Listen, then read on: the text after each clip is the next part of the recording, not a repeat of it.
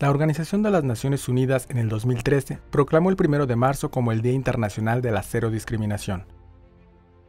Se entiende por discriminación al trato desfavorable o de desprecio inmerecido a determinada persona o grupo.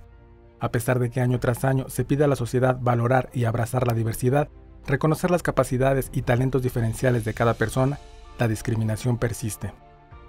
El origen étnico o nacional, el sexo, edad, discapacidad, condición social o económica, la condición de salud, la lengua, religión, opiniones, la orientación sexual, el estado civil y otras diferencias pueden ser motivo de distinción, exclusión o restricción de derechos.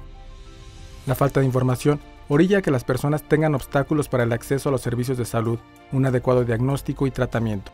El símbolo de la cero discriminación es la mariposa reconocida mundialmente como un signo de transformación. Acoger y recibir con los brazos abiertos la diversidad en todas sus formas fortalece la cohesión social.